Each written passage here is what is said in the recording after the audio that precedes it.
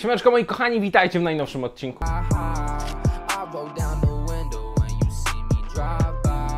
Huu, jak już widzicie, na górze macie napisane o czym jest dzisiejszy odcinek, ale tego odcinka by nie było. Gdyby nie jeden e, malutki komentarz e, na HS-ie, wtedy akurat byłem na wakacjach, więc nie mogłem nagrać tego odcinka. Zaraz ja, ja bym tu przytoczę ten komentarz. A, nazwijmy e, tę osobę pan Buciarz na potrzeby tego materiału i już tutaj wam e, czytam. Żeby nakreślić wam sytuację, to był mój komentarz tyczył się butów, pewnego pana, który się nazywa Hikmet, chyba tak.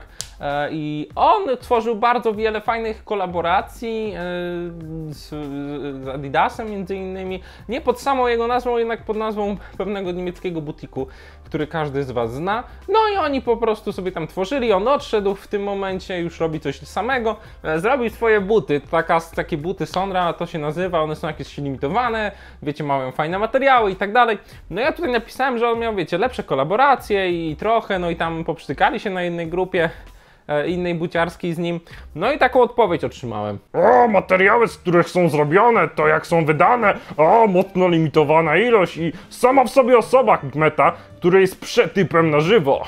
Ale co ty możesz wiedzieć o porządnych butach? Lepiej się jarać Sugdor Tommy z outletu. What the fuck? Ktoś, kto dyskredytuje Sogdarty i mówi, że inne buty są lepsze od Sogdartów i to jeszcze takie, które jedyne, co za nimi idzie, to jakość wykonania, to, że są limitowane i to, że robi je typek, który robi fajne kolaboracje i w sumie przenosi te najlepsze kolaboracje na te buty, nie wiem dlaczego i teraz można powiedzieć, że to jest wtórne, ale jak powiesz, że jest wtórne, to właśnie zjadą ci tacy, takie osoby, powiedzą, że jest przezajebiste.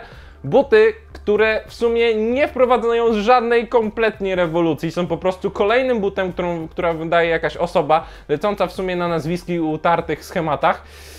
No, te buty są fajne, ale żeby kurna tutaj mówić, że są lepsze od Sogdartów, no to sorry, nie, bo to takie trochę januszowe, januszo, januszostwo buciarstwa, jeśli mówisz, że te buty są lepsze od Sogdartów i ja wolę się jarać Sogdartami. Nawet jeśli koszt, by kosztowały 50 zł, tak bym się nim jarał. No więc przechodzimy teraz do historii Nike Sogdart.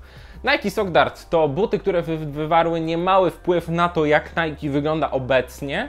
Może nie tyle przez swój wkład, tak samo jak na przykład Air Maxy, ale na pewno wywołały e, ten wpływ na niektóre modele e, po prostu tym, że powstały i tym, że były mm, w pracowni Nike, że były projekty tych butów, że były sample i można było implementować różne rzeczy na inne modele, ale o tym to zaraz. Żeby wszystko zrozumieć, musimy cofnąć do roku 1988, w którym to wyszły Nike Airflow. Nike Airflow były to pierwsze buty Nike, które zawierały sobie neoprenową skarpetę. E, Płytem były Huarachi, ale na początku były te Nike Airflow i tutaj Nike zrezygnowało z materiałów takich jak skóra, zamsz, materiałów naturalnych właśnie na rzecz neoprenu i materiałów sztucznych. Jak z każdą historią tutaj mamy kilka wersji tego, co się stało.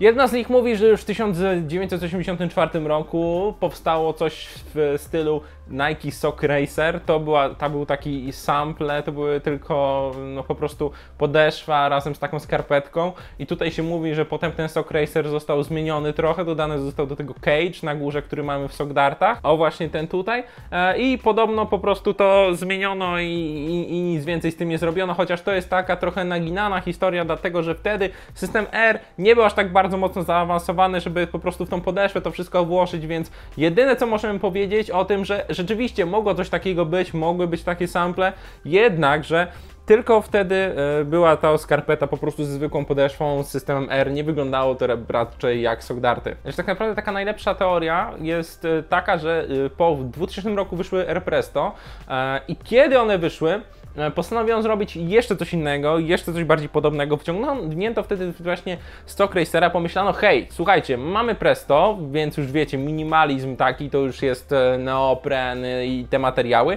Zróbmy coś innego, wywalmy sznurówki, wywalmy po prostu tego cage'a aż tak mocno, zróbmy coś jeszcze bardziej minimalistycznego niż mamy i jeszcze bardziej wygodnego. Więc około 2000 roku właśnie ten pan, Tinker Hatfield, to jest trudne imię, nazwisko, powiedzcie sobie to po angielsku.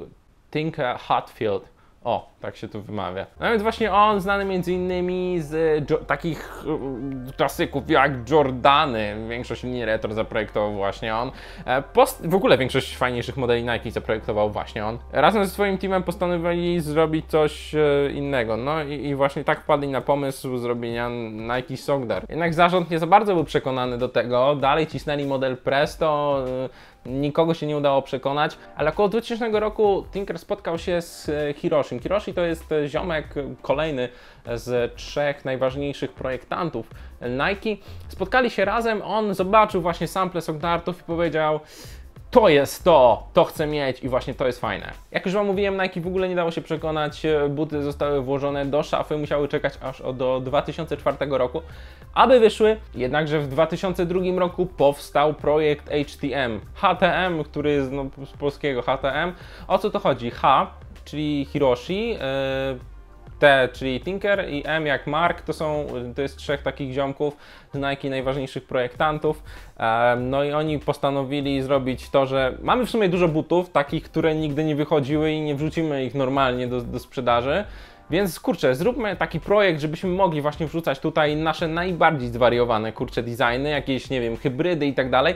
Zróbmy to, raz do roku będzie to wychodziło, no, no i po prostu będziemy robić coś, czego byśmy normalnie nie zrobili, będzie to limitowane, będzie to pewien koncept, tak, będą tutaj mogli występować inni designerzy z naszych ekip i każdy z nas będzie mógł sobie wybrać to, co najlepsze. No i tak, pierwsze Sagdarty wyszły w 2004 roku. W niektórych miejscach w ogóle nie miały one żadnych reklam, nic z tych rzeczy. Nie, mało ludzi w ogóle wiedziało, że coś takiego wychodzi. No, nie były jakimś olbrzymim hitem, Nike dość mocno je olało. E, No i tutaj historia tak naprawdę Sogdartów się zakończyła aż do, no właśnie, aż do niedawna. I czekaliśmy w sumie aż 10 lat na taką porządną reedycję. W 2014 roku wyszły buty, y, właśnie Sogdarty z Nike Labem. Dlaczego one były takie ważne? Dlatego, że jak widzieliście, to była kolaboracja Nike Fragment Design. Fragment Design to jest em, marka, można w sumie powiedzieć, że to jest marka e, osoby, która w 2000, fu, przepraszam, w 2000 roku powiedziała Tinkerowi, że te buty są bardzo fajne. Już wiecie, kto to był. Tak, właśnie. Hiroshi odpowiada za Fragment Design, więc e, te buty w 2014 roku były po prostu odzwierciedleniem tego, co nie udało się, czego nie udało się zrobić wcześniej. Był tak zajarany tym modelem, że właśnie czekał, kurczę, aż 10 lat na to, żeby wypuścić właśnie tutaj kolaboracje. Niektórzy psioczyli dość mocno na te kolaboracje, mówili, że to są po prostu zwykłe kolory, nie za bardzo się różnią, ale tak naprawdę o to chodziło. Chodziło o to, żeby przywrócić to wszystko, co było na samplach, zresztą jak zobaczycie sobie wywiady, no to tam się właśnie, właśnie to pokaże. To samplowe kolorystyki, bardzo podobne do kolorystyk OG z 2004 roku, jednakże nie do końca to samo, były trochę pozmieniane, customowe wkładki, trochę lepiej wykonane, no i właśnie wtedy wyszły te Sogdarty i od tamtego momentu Nike regularnie wydaje coraz to nowe wersje Sogdartów, coraz to lepsze. W tym momencie możecie je kupić w outletach za 96 zł, no nie? Nawet 120 zł kupowałem te, no totalnie jak za darmo, za but, który jest nie dość, wygodny i ma taką historię, no super. Wartymi wspomnienia są dwie ciekawostki. Pierwsza to to, że Sogdarty tak naprawdę są trochę starszymi braćmi Flynita. Dlaczego? Dlatego, że to, co wypracowano podczas e, produkcji Sogdarta, czyli jak widzicie tutaj tkany upper jest, upper jest totalnie tkany, wykorzystano również przy produkcji Flynita niektóre rzeczy yy, po prostu przeszły tam. Co konkretnie tego nie wiemy, bo nie wiemy co wypracowali, ale możemy się tylko domyślać, że po prostu chodziło o jakieś, nie wiem, wiązania, o po prostu jakieś, nie wiem, no, no, no materiały. E, to wszystko, co zrobili na Sogdartach, potem z tego korzystali przy produkcji Flynitu. I taka kolejna buciarska ciekawostka, nie wiem czy wy się tego spodziewaliście, czy nie, może zauważyliście. Czy to wam przypomina podeszwa od Sogdartów?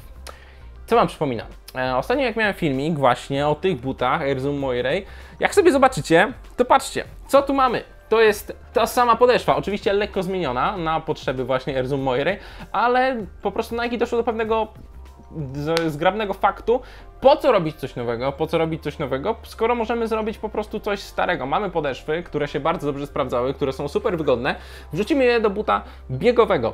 No i co tutaj mamy? Nike Plus który zrewolucjonizował tak naprawdę wszystko, no tu na tym bucie. I ta podeszwa, gdyby nie podeszwa Sogdartów, ten but na pewno by inaczej wyglądał, bo raczej nikt by nie opracował dokładnie tak sam, tej samej tej podeszwy, więc jak widzicie, wyłożono po prostu zwykły system R, przełożono po prostu tutaj system Zoom, trochę ją zmieniono oczywiście, no ale jak już macie podeszwa z Sogdartów, przeszła na podeszwę Air Zoom i tak oto powstały, jak już Wam mówiłem, jedne z najwygodniejszych butów Nike, jakie w ogóle kiedykolwiek ta firma wypuściła. Dzięki za oglądanie, mam nadzieję, że się podobało. Jeśli znacie jeszcze jakieś ciekawostki na temat Nike Sogdart, napiszcie mi proszę na dole w komentarzu. Ja już się żegnam z Wami, dziękuję za to, że byliście, że jesteście, a następny filmik też będzie o historii. Ale jakiego modelu? No to już musicie się przekonać, jednego chyba z najczęściej noszonych przez Was modeli w ogóle kiedykolwiek.